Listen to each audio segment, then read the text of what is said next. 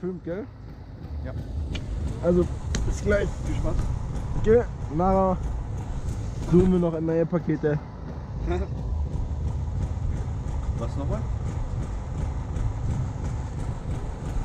Wir suchen nach diesen Energieregeln. Ja.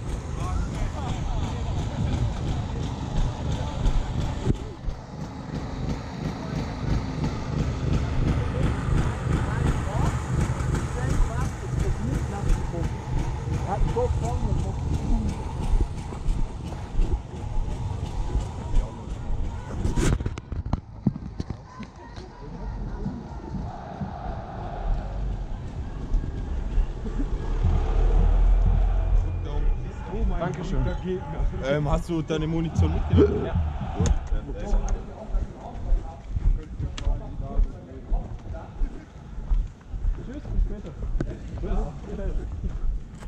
Ja,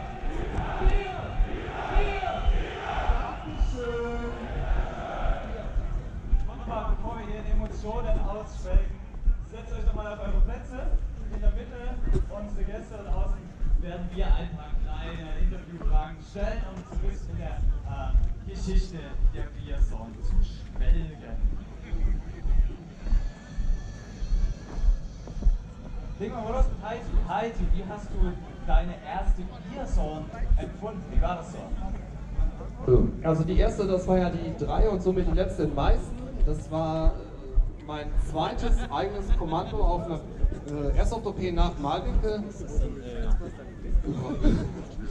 Ich wusste nicht, was auf mich zukam, aber die OP war schon toll und äh, ich erinnere mich, dass deine ersten Worte samstags morgens waren, ah, eine Biersucht bei Regen ist keine Biersucht und es hat morgens auch geregnet. Das konnten wir hier zum Glück ja größtenteils ändern, aber die erste Biersucht war schon Wahnsinn und äh, ich bin sehr froh, dass ich äh, noch immer einen guten Draht zu meinem Gegner, der Kollege hier mit der fleischfarbenen Schwimmkappe neben mir, äh, habe.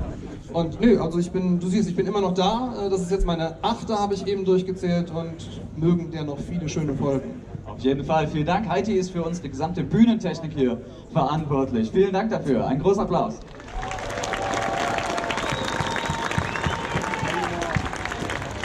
Da kommen wir nun zu Big Leg. Für dich aber auch eine Frage. Natürlich, als du erstmal und Brauer warst, wie kam es dazu, dass du überhaupt der Brauerkommandant wurdest? Ich meine, scheinst du am falschen Ort zum falschen Zeitpunkt, da wurde gezeigt, willst du Brauer machen, nicht mal, willst du, bist du es? Nein, im Ernst, wie kam es dazu?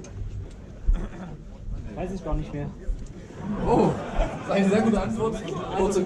Es war damals so, unser Team wollte auf eine große OP, damals die Bierson 2. Das war Wahnsinn. Da hieß es, da sind glaube ich 200, 300 Leute. Das war damals zu diesem Zeitpunkt eine große OP. Und da habe ich gesagt, ach komm, hörst du mal an, fragst du Papa wer? Und der hat damals ja gesagt. Wunderbar. Und es war schön, dass du das all die Jahre durchgehalten hast und mitgemacht hast. Und die Brauer auch zu ziemlich vielen Siegen geführt hast. Ja, vier.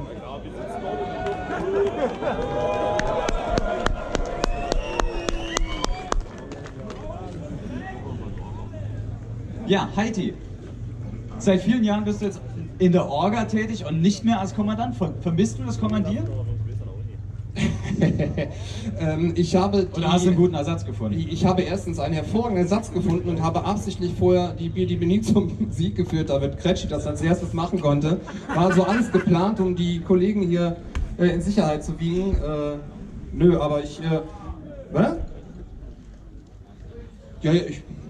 Alles gut. Nee, ähm, aber ich, ja, nee, eigentlich nicht. Also ich bin froh, wie es ist und ich äh, denke, dass die Bierson sich in der Form weiterentwickelt hat, dass die beiden Kommandanten, die sind, nämlich äh, Kretschi und Kelso, das Event jetzt auch zu dem machen, was es ist. Und ich meine, du siehst, was hier aufgelaufen ist. Respekt an alle, gebt euch alle mal einen riesen Applaus, weil auch Diebe und äh, Brauer gegeneinander, aber das ist hier ein Bild von hier oben, das ist Wahnsinn. Und das sind zwei Leute vorne an der Front, die das gerade echt also prägen, auch die Arbeit, die dahinter steckt. Ich meine, wir haben uns auch Arbeit gemacht, aber das ist nicht im Vergleich zu dem, was hier heutzutage läuft. Und deswegen bin ich ganz froh, dass ich mich um meine kleine Bühne kümmern darf und der Rest nach mir die Sinnflut. Das ist einfacher. So, kommen wir nun zu einer Frage, die ist an an euch beide gerichtet, nämlich die obligatorische, was ist denn die geilste Fraktion der Biersohn? Und ihr könnt euch jetzt gerne mit dem Mikrofon streiten. Elite! Elite! Hier! Hier! Ich, Bierbrauer! So, ich, ich bin ja eher der Diplomat.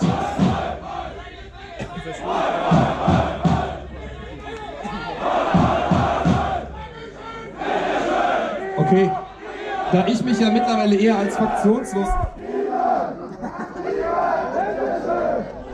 Da ich mich ja eher als fraktionslos ansehe und auch der Kollege hier rechts neben mir. kurz Jeopardy einspielen, bitte. Nein, danke. Dass der Kollege hier neben mir auch äh, offensichtlich scheinbar zur Störtruppe montiert ist, ist für mich die geilste Fraktion mittlerweile, weil ich mit denen einfach auch viel mache. Ist die äh, Elite-Einheit und die Stars und so. Grüße, hey! Nein, das ist nichts gegen euch, ihr seid ja auch alle toll. Ja, ich bin, klare oder? Ein unklares Statement, aber man entwickelt sich ja weiter. Aber kommen wir dazu, ich meine, wir haben jetzt euch Fragen gestellt. seid ihr, und hä? Thomas würde revidieren, aber er muss eigentlich auch eine Frage verdient haben, weil er ist genauso lange dabei, sogar länger als alle anderen, letztes ja, ich wollte schnell ein bisschen. Frage schnell. für mich. Ja, eine Frage. Der ist schnell, ich gehe nachher dann durch Und das was viele brennend interessiert, wahrscheinlich auch Film alle Mitstreiter mit dir, auch aus der Orga, ist ja, wie kamst du überhaupt darauf? Ich muss noch ein paar Sachen Ich machen. meine, ich finde, mal nicht nachgucken gegen Rebellen, sondern ja, wir Brauer. Der steht schon mal, ist schon bald- bald wieder leer. Saß in der Kneipe und dachtest dir, ich mache jetzt mal ein Event mit Sucht. Was? Nein, schau. Das, das wäre Machst jetzt du äh, das deutlich nicht fertig? knapper, wenn ich das so sagen ist könnte. so rot im Es ist tatsächlich, äh, es ist wirklich interessant, aber es ist etwas ausschweifend, ich versuche es kurz zu halten. Schöner Mann zu hören, Ähm, wir hatten Schneeberg ein Gelände, was ehemals zur Bundeswehr gehörte. Als wir es hatten, dann war es noch Bundeswehr, dann sind die rausgegangen. Wir durften da immer drauf spielen.